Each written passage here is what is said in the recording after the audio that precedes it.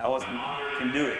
Right here, honored in Texas, and Bob Adcock, his amateur four-year-old stallion reserve. Now he was reserve right behind Patrick Mahomes, Yeah.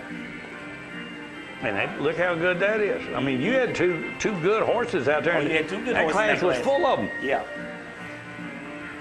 I want everybody to know that in the coming weeks we will be showing video from the classic, but.